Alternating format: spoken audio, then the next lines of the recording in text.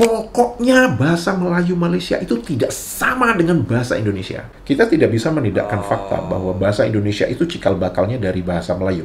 Itu fakta. Kenapa Indonesia memilih cikal bakalnya itu bahasa Melayu?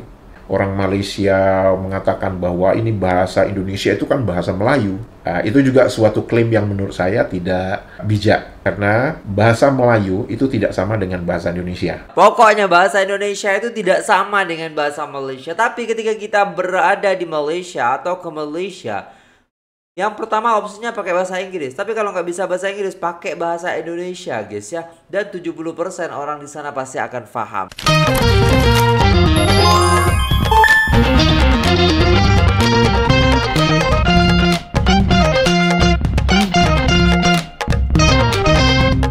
Assalamualaikum warahmatullahi wabarakatuh. Jumpa lagi dengan saya guys Cak Mujib. Gimana kabar teman-teman semua? Semoga sehat selalu bahagia dunia akhirat. Selamat datang di Cak Mujib TV guys. Kali ini kita akan reaksi sebuah video Yang direkas oleh teman-teman sekalian di Instagram guys. Alhamdulillah kita sudah masuk ya di hari pertama puasa guys ya. Oke okay, dan alhamdulillah kita semoga diberikan oleh Allah Subhanahu wa taala itu kekuatan hingga sampai ke 30 hari sampai lebaran ya guys ya. Amin amin ya rabbal alamin. Semoga kita juga masih diberikan umur panjang ya berkah juga ya guys ya. Sehingga uh, kita senantiasa mendapatkan pahala daripada kehidupan kita ini. Oke okay. nah kali ini kita akan reaksi yang di request oleh teman-teman sekalian yaitu uh, pokoknya bahasa Indonesia itu tidak sama dengan bahasa Malaysia. Ya, kok bisa gitu ya guys ya. Oke, karena emang ya berbeda banget sih. Coba-coba kita dengarkan penjelasan daripada Abang Supriya di sini guys. Oke, tak berlama-lama subscribe guys ya channelnya Abang Supriyadi, linknya di deskripsi. Kita simak video daripada beliau. Oke, let's go. Semuanya teman-teman, semoga kita semua dalam keadaan sehat walafiat. Amin, Amin ya robbal alamin. Teman-teman, di video kali ini saya ingin membicarakan mengapa ada sebagian orang Indonesia dan sebagian orang Malaysia bersikap ekstrim kepada bahasa itu sendiri. Yang misalkan orang Indonesia sangat ekstrim dan merendah-rendahkan bahasa Malaysia atau bahasa Melayu. Kemudian yang di Malaysianya juga begitu, mereka juga merendah-rendahkan bahasa Indonesia. Saya ingin bercerita sedikit tentang latar belakang hubungan antara Indonesia dan Malaysia ini. Indonesia dan Malaysia ini bukan sekedar hubungan diplomatis antara dua negara saja, tapi hubungannya lebih dalam daripada itu, seperti lebih personal, di mana kita tahu ada banyak orang-orang yang bersuku tertentu di Indonesia itu mempunyai saudara, adik-beradik yang sudah menjadi warga negara Malaysia. Dan hubungan itu membuat uh, hubungan Indonesia Malaysia itu semakin kompleks. Di Malaysia di, ber, di beberapa negeri. Negeri itu maksudnya kalau di Indonesia itu sama dengan provinsi. Misalkan di negeri Selangor ada satu tempat namanya Banting. Kalau teman-teman yang suka nonton badminton mungkin pada tahun 1980-an ada beberapa pemain badminton Malaysia yang sangat terkenal yaitu Miss Bun Sidek, Razif Sidek dan Jalani Sidek. Dan mereka bertiga ini itu adalah putra kelahiran Banting dan sebagai informasi aja bahwa Pak Sidek itu itu adalah orang yang berketurunan Jawa. Saya tidak tahu apakah generasi pertama atau generasi kedua mereka ada di Malaysia. Nah, apa yang ingin saya sampaikan bahwa bukan hanya di negeri Selangor, ada banyak orang-orang yang mempunyai kakek neneknya berasal dari Indonesia. Misalkan kalau kita pergi di negeri Perak, itu ada orang yang bersuku Banjar dengan yang bersuku Mandailing. Kemudian kalau kita ke negeri Kedah, itu ada orang yang mempunyai kakek nenek bersuku Aceh, bersuku Minang, dan bahkan juga ada yang bersuku Batak. Bahkan kalau kita menggunakan contoh yang lebih ekstrim, di negeri sembilan itu hukum adatnya berdasarkan hukum adat yang sama yang digunakan di Sumatera Barat. Karena memang mayoritas orang yang di Negeri Sembilan itu adalah keturunan Minang. Bahkan kalau teman-teman yang bisa berbicara bahasa Minang, itu kalau pergi ke Negeri Sembilan dan ketemu dengan sesepuh-sesepuh uh, orang Minang di sana, di Negeri Sembilan, Anda tidak akan memerlukan penterjemah saat berbicara dengan mereka karena mereka mengerti apa yang Anda bicarakan. Wow. Dan uh, juga kalau misalkan di Kuala Lumpur sendiri banyak orang keturunan Minang yang berdomisili di daerah dekat Batu Cave dengan Kampung Baru. Fakta-fakta yang saya sebutkan ini ini ad adalah menunjukkan bahwa hubungan Indonesia Malaysia itu bukan hanya sekedar hubungan negara saja, tapi lebih dalam daripada itu. Dan apa yang mereka lakukan jika orang-orang keturunan suku-suku tertentu yang ada di Malaysia itu jika mereka masih bisa mengetahui saudara saudara-saudara mereka yang ada di Indonesia, maka mereka akan pulang ke Indonesia. Begitu mereka pulang ke Indonesia, bahasa apa yang mereka gunakan? Kalau Anda mengatakan bahwa mereka akan menggunakan bahasa daerah atau bahasa suku mereka, Anda hanya 40% betul. Karena saya bisa katakan bahwa 60% dari orang-orang Malaysia yang mempunyai keturunan dari suku-suku di Indonesia itu tidak mengerti bahasa daerah atau bahasa suku dari kakek neneknya. Ah. Mereka akan menggunakan bahasa apa? Bahasa Inggris. Tidak mungkin karena di desa-desa di Indonesia itu banyak yang tidak mengerti bahasa Inggris. Bahasa apa yang mereka gunakan? Tentu yang dari Malaysia mereka akan menggunakan bahasa Melayu Malaysia. Artinya apa? Hal yang ingin saya sampaikan bahwa ada kesamaan dalam kosakata antara bahasa Indonesia dengan bahasa Melayu Malaysia. Itu yang ingin saya sampaikan. Oke, sekarang mari kita bicara tentang sejarah bahasa itu sendiri. Di Indonesia, Sumpah Pemuda pada tahun 1928 itu mendeklarasikan bahwa satu, bertumpah darah satu, yaitu tanah air Indonesia, berbangsa satu, yaitu bangsa Indonesia, berbahasa satu, yaitu bahasa Indonesia. Itu adalah fakta sejarah. Kemudian juga kita mengetahui Indonesia itu terdiri dari berbagai macam suku mulai suku Jawa, Batak, Sunda, Minang, Madura, Melayu, Banjar, Mandailing, Lombok, Sasak dan sebagainya itu itu adalah elemen-elemen yang membentuk negara Indonesia. Semua perbedaan-perbedaan itu baik dari daripada perbedaan suku, perbedaan latar belakang, perbedaan agama itu menjadikan mereka menjadi bangsa Indonesia sesuai dengan deklarasi kedua Sumpah Pemuda. Nah, sekarang mari kita berbicara tentang sejarah Malaysia itu sendiri. Malaysia ketika mendapatkan kemerdekaan dari Inggris pada tahun 1957, Inggris memberikan syarat. Syarat itu adalah bahwa Malaysia harus dipertahankan menjadi tiga kelompok bangsa yaitu bangsa Melayu, bangsa Cina, dan bangsa India. Mengapa Inggris memberikan syarat itu? Karena Inggris ingin memastikan ada kestabilan politik, kestabilan ekonomi, dan kestabilan keamanan di negara Malaysia yang akan mereka tinggalkan. Dan itu sah-sah saja.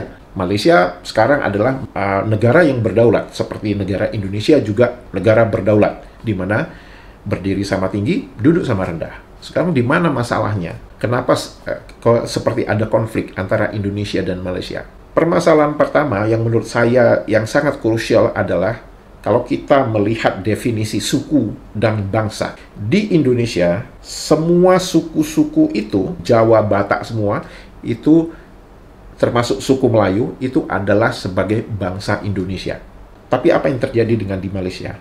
Di Malaysia, definisi dari bangsa Melayu adalah semua suku-suku. Suku Jawa, suku Minang, suku Batak, suku Mandailing, Madura, Banjar, dan semua suku-suku itu, termasuk suku Melayu sendiri, asalkan mereka beragama Islam, maka mereka dimasukkan sebagai bangsa Melayu. Teman-teman sekarang sudah bisa melihat ya, kalau di Indonesia itu apa pun sukunya, apa pun agamanya, itu adalah bangsa Indonesia. Sedangkan di Malaysia, semua suku-suku yang saya sebutkan tadi sama dengan di Indonesia dan beragama Islam itu dimasukkan sebagai bangsa Melayu. Dan konsekuensi logisnya adalah ke bahasa. Yang satu menggunakan bahasa Indonesia sesuai dengan deklarasi Sumpah Pemuda yang ketiga, dan yang satu lagi menggunakan bahasa Melayu, yaitu bahasa yang digunakan oleh bangsa Melayu. Kalau teman-teman perhatikan, begitu Perdana Menteri Malaysia beberapa waktu yang lalu mengatakan bahwa bahasa Melayu diusulkan menjadi bahasa kedua ASEAN.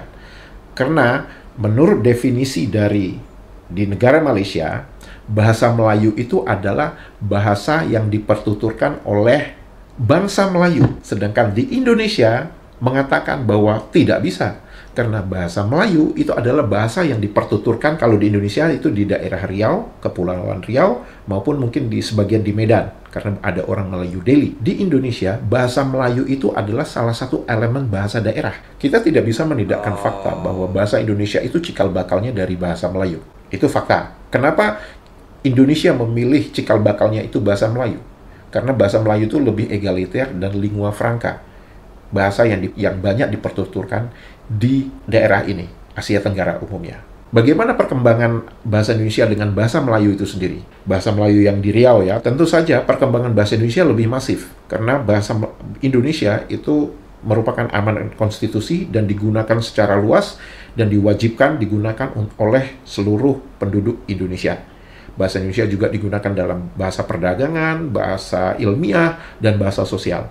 Hal yang sama terjadi dengan pengertian kita di bahasa Melayu di Malaysia. Perkembangan bahasa Melayu Malaysia itu lebih masif dibandingkan dengan perkembangan bahasa Melayu yang ada di Riau. Karena sama, bahasa Melayu Malaysia adalah menjadi bahasa nasional Malaysia dan perkembangannya tentu lebih masif. Kalau teman-teman perhatikan, cikal bakalnya sama, yaitu bahasa Melayu. Namun, serapan-serapan dari suku-suku yang ada di Indonesia dan juga serapan dari bahasa asing membuat bahasa Indonesia itu menjadi berbeda dengan bahasa Melayu yang digunakan di Malaysia. Sekarang teman-teman tentu akan bertanya, lantas bagaimana sikap kita menghadapi kadang-kadang ada klaim dari orang Malaysia mengatakan bahwa ini bahasa Indonesia itu kan bahasa Melayu. Nah, itu juga suatu klaim yang menurut saya tidak bijak karena bahasa Melayu itu tidak sama dengan bahasa Indonesia. Karena definisi kita di Indonesia bahasa Melayu itu adalah seperti bahasa yang digunakan di daerah Riau.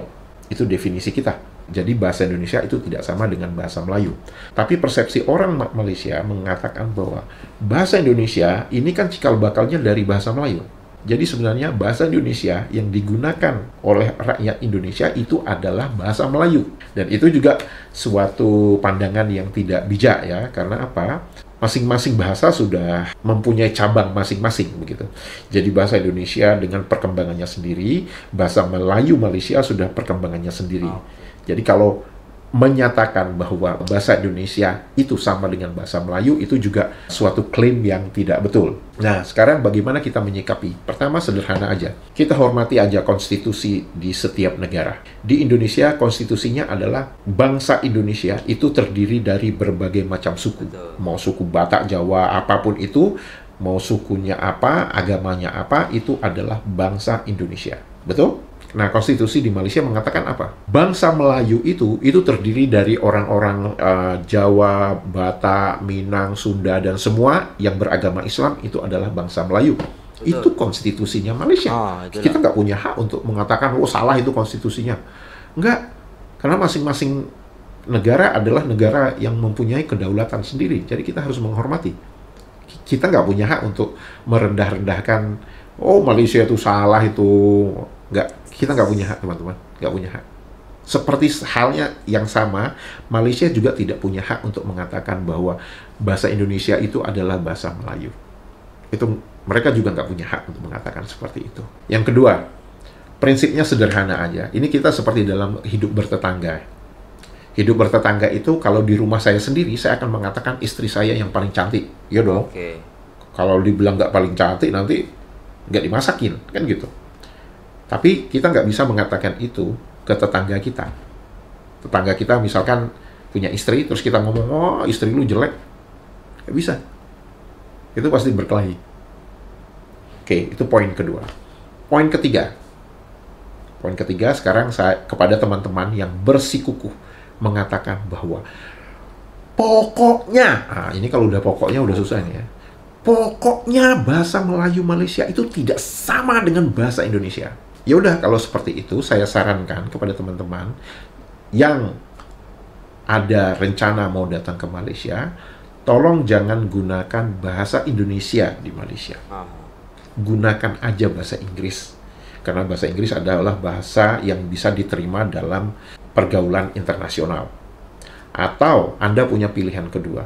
Gunakan bahasa Indonesia di Malaysia, maka saya bisa katakan 70% dari apa yang Anda katakan dalam bahasa Indonesia itu akan dimengerti oleh rakyat Malaysia. Pilihan ada di diri Anda masing-masing. Salam sehat selalu. Dadah. Alright guys, udah selesai videonya. Pokoknya bahasa Indonesia itu tidak sama dengan bahasa Malaysia. Tapi ketika kita berada di Malaysia atau ke Malaysia, yang pertama opsinya pakai bahasa Inggris. Tapi kalau nggak bisa bahasa Inggris, pakai bahasa Indonesia, guys ya. Dan 70% orang di sana pasti akan paham. Itu kata Bang Supriyadi tadi, guys ya. Ini sangat-sangat menarik sekali menambah wawasan dan pengetahuan kita, terutama tentang bahasa ya, guys ya. Jadi yang beda pengertian seperti itu. Kalau di sana itu bahasa Malaysia atau bahasa Melayu di, di Malaysia itu karena nasional, sedangkan di Mali, sedangkan di Indonesia itu bangsa Sedangkan di Indonesia bahasa Melayu hanya digunakan oleh orang-orang Riau sana seperti itu ya guys ya. Jadi memang beda lah konsepnya seperti itu. Tapi kebanyakan orang Malaysia juga paham dengan uh, bahasa Indonesia. Nah itu ya guys ya. Nah kita dapat ilmu banyak daripada Bang Supriyadi ini. Semoga ya Bang Supriyadi sehat selalu dan juga nge-sharing ilmu-ilmunya kepada kita semua sehingga kita tidak buta ya guys ya akan sejarah akan juga asal muasalnya. Oke, nah itu dulu dulu videonya guys. Terima kasih sudah tengok video ini sampai selesai. Apabila ada salah kata mohon dimaafkan. Saya pamit undur diri. Silahkan komen di bawah Gimana nih menurut teman-teman sekalian. Terima kasih. Assalamualaikum warahmatullahi wabarakatuh